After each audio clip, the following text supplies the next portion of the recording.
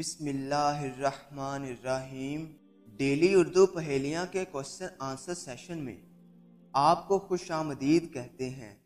सवाल नंबर एक, इंसानों में सबसे पहले लिखना किसको आता था? आपके ऑप्शन है ए, हज़रत सुलेमान अलैहिस्सलाम बी, हज़रत इदरीस अलैहिस्सलाम सी, हज़रत ईसा अलैहिस्सलाम डी, हज़रत ज़करिया अलैहिस्सलाम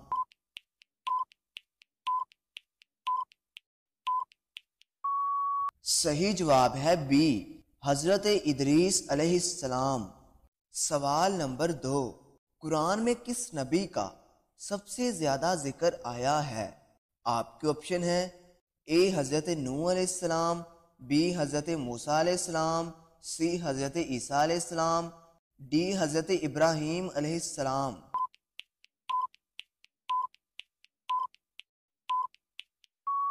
सही जवाब है बी हज़रत मूसा अलैहिस्सलाम, सवाल नंबर तीन किस मज़हब में मुर्दों को छूना मना है। आपके ऑप्शन है ए ईसाई बी पारसी सी बुद्धमत डी यहूदी।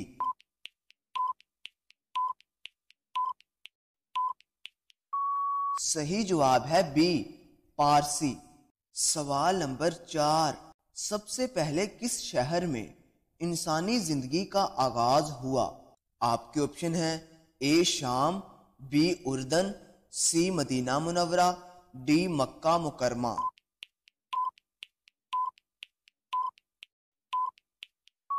सही जवाब है डी मक्का मुकरमा। सवाल नंबर पाँच, किस नमाज़ को पढ़ने से एक हज का स्वाब मिलता है? आपके ऑप्शन है ए नमाज़ कसूफ बी नमाज़ तोबा सी नमाज़ चाश डी नमाज़ अशराक।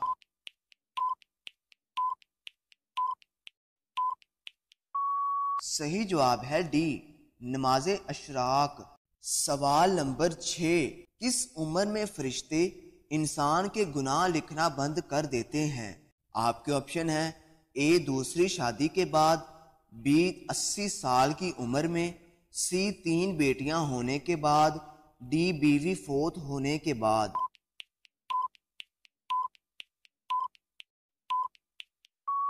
सही जवाब है बी। अस्सी साल की उम्र होने के बाद सातवां सवाल, गिबत करने वाला क्यामत के दिन किस शक्ल में उठेगा? आपके ऑप्शन है ए, गाय की, बी, कुत्ते की, सी, खिंजीर की, डी, चूहे की।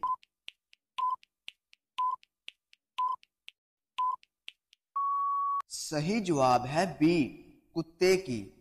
इस तरह की मजीद मालूम के लिए डेली पहेलियाँ चैनल को लाजमी सब्सक्राइब कर लें।